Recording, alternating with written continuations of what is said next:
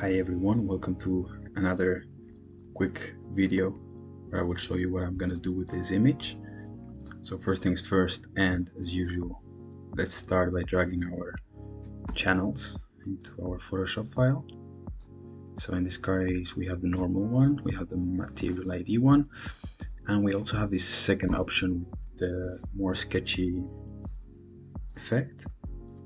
So let's uh, convert this layer into a, an actual actual rasterized layer.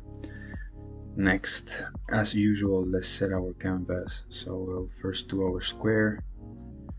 Same old, same old. So it's 3840, as we usually do.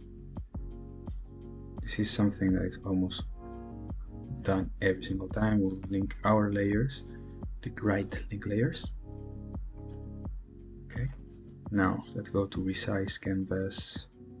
Let's adjust it and let's now just um, adjust our our images. Okay. So now we'll start by and again as usual. First we unlink our layers. Then we select our normal channel select color range click on the black. Uh, okay. Okay. And now we want to rasterize this layer right here. So click right rasterize layer erase and then we go again to our second layer and we erase so as you can see we have our base images. Here it is. Um, without the sky. So next thing that we're gonna do is sorry. We'll duplicate this base layer again. We'll set it in in ghost mode. Now we'll go to layer new layer new fill layer sorry. Color fill one and we'll set it in white. So here we have our, our image. As usual this is not a big change from our usual images or at least our usual workflow right? So now we have to decide what to do because I like this one. This is actually more um, graphic for me. Um, so I have to decide. I also like this sketch effect but I think that we see less of the image. So what I would like to do is to see here with our material ID what we can actually select and what we cannot. So first things first for me would be to select the girl and the dog. And maybe just maybe i'm not sure we'll maybe keep them in this sketch effect in our uh, base image. So layer via copy you know you click right here in the selected area layer via copy. So now here we have the copy so if we could take everything out we'll still see the girl and the dog with this sketch effect. So again if we go back you can see how it works right? So here we can choose what to do. So we can do some kind of you know lower the opacity so that everything's more or less uh, as as the rest of the image. Or we can for example leave it at 100 and then here choose something different. Um, something like this or something like this where we have more contrast. I also like this one so maybe this one with a little bit yeah I don't know. I'm not sure though. Let's see. Okay we keep it in normal. Uh, I would like to see the logo but um, I'm not getting there so but I think we don't see it anyway. So I think it was a good idea. We'll just leave it here at 70 70% and what I would like to do actually is make kind of white uh, line around the dog and the girl okay. So again this is uh, we're gonna try. If it doesn't work then we'll do uh, something else okay? So for now it would be something like this. What I do is I click once and I see if the thickness of the line is good for me. And if it is I just continue. And here I just leave the shift key uh, on and I just left click all the way doing this kind of path following the silhouette of the dog okay? So just continue this like this. You can do it you know faster or slower. Of course the slower you go the more precise it's going to be. And uh, of course also the more you zoom in the more precise it's going to be. Mm, but I like to make this kind of it's not cell shading I guess because the cell shading is usually black I think. I'm not an expert on this terminology but um, yeah. Here we're doing the silhouette of the dog up until the grass. Okay again here no if you click uh, with the shift it will happen like this. So again left and then we'll do it just again this perfect. And we'll do it also here a little bit. Okay so now we have our dog with our white layering. So as you can see it's not very thick but it allows us to really separate it from the background right? Okay now we'll do the same with the girl. Um, so we'll come here. We'll start just start with this part right here. You know because the background is a bit clearer than before we won't see it that much but it's okay. You know, it's just the style that we're choosing to go for. Okay so here I'm not sure where to where to start. I think maybe what I will do is I will just start here and that's it. I don't know why my dog is licking his bed? Um, I don't know if you hear it I guess not just wanted to say it ah. as you can see here I'm being too precise but it's okay because you know the the background is white so we won't see it much let's go ahead and do the rest of the world oh shoot this Tack.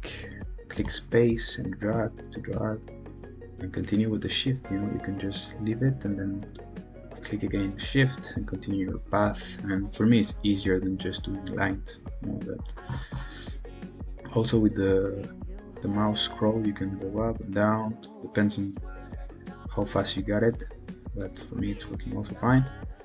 Okay so as you can see it's a bit tedious. Um,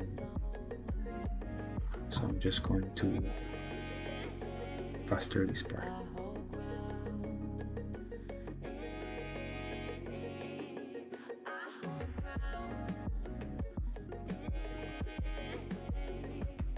Okay so there we are. As you can see it's right here. We don't see it much but again this allows us to separate it a bit from from the background.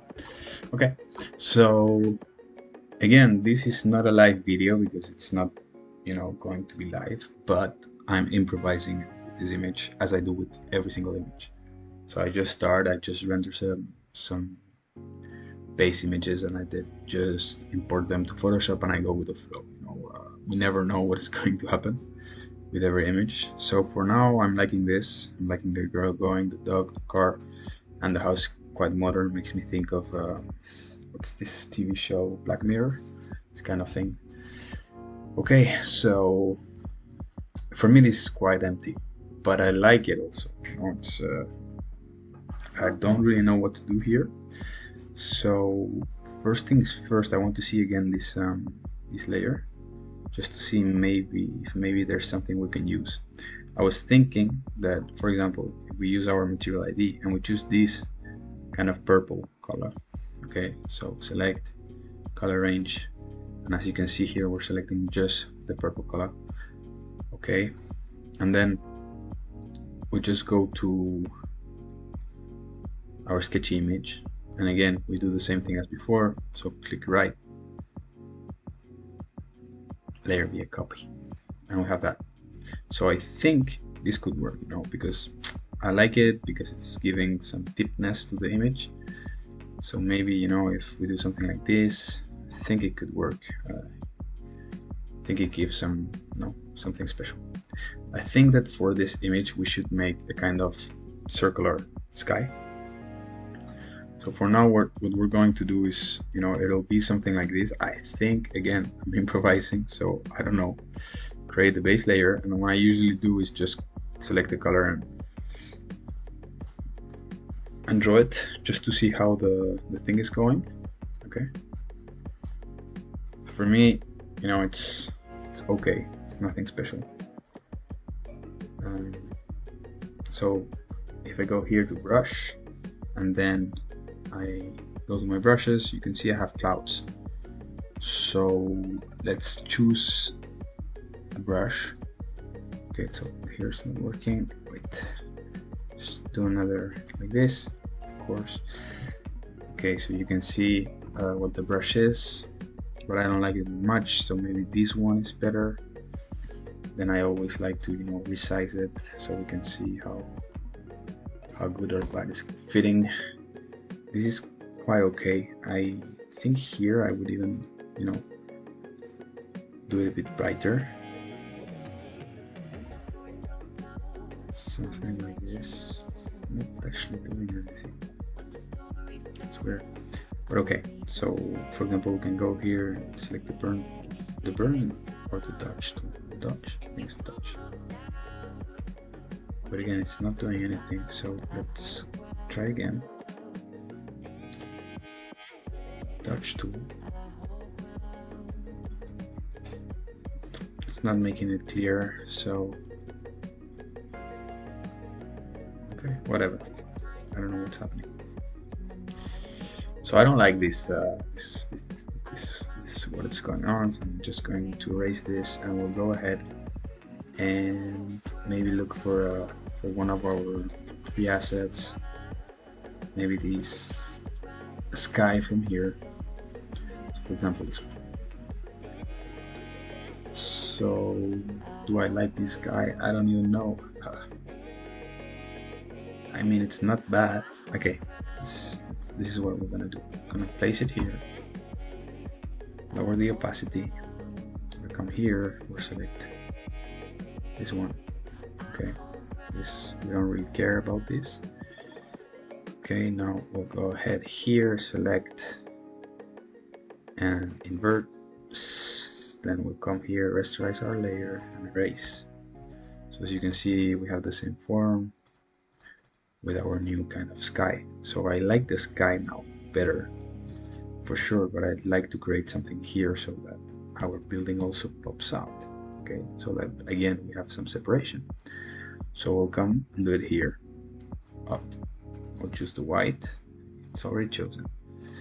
Select our normal brush.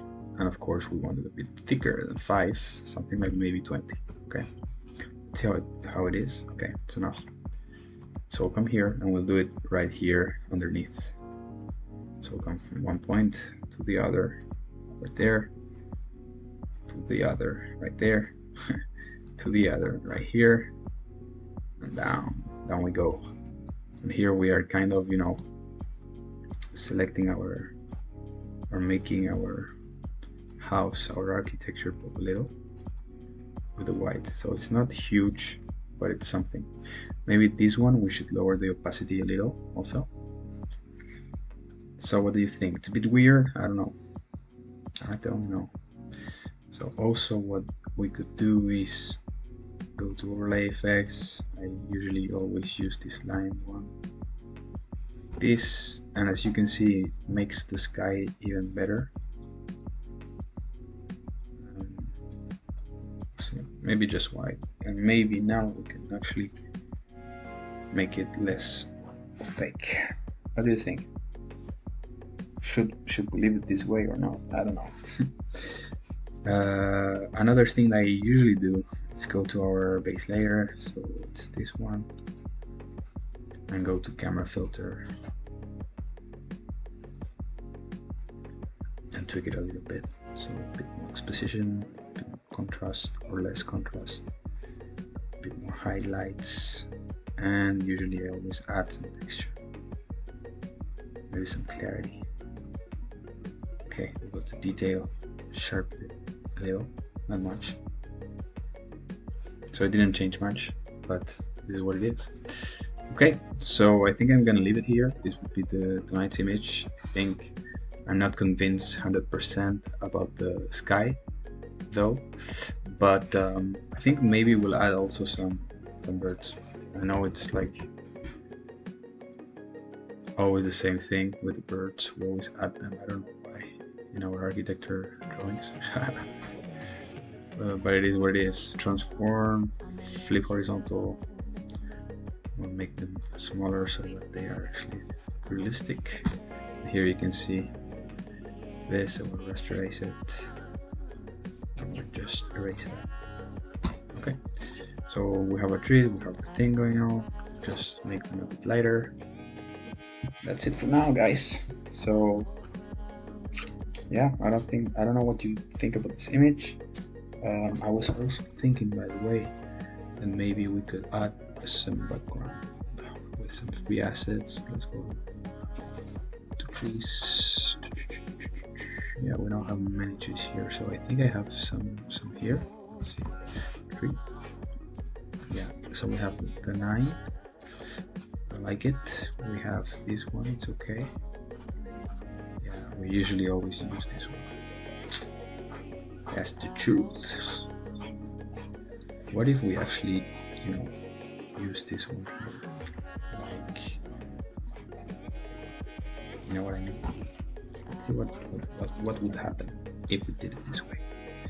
So, of course, we see some things, bad things going on here, but you know, we don't have too much of a choice. so we'll just come here, rasterize our thingy as usual. Um, we'll select this part right here, then here, here. So this will be hidden. We're gonna erase it. Go ahead and erase it. Here also because we are going through through this hole right there and up to here.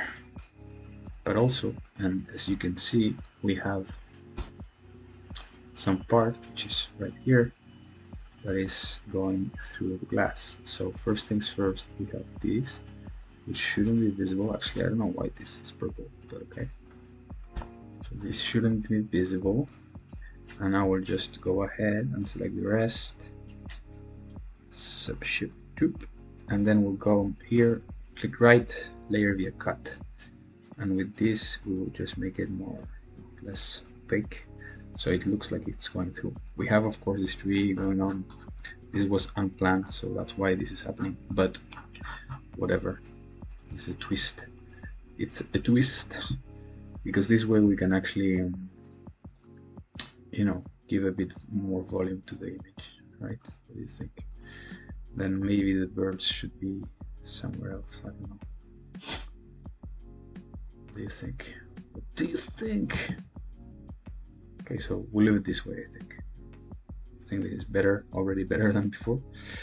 Um, yeah, so it's a shame that right here doesn't, I don't know, it looks weird from a distance. What do you think?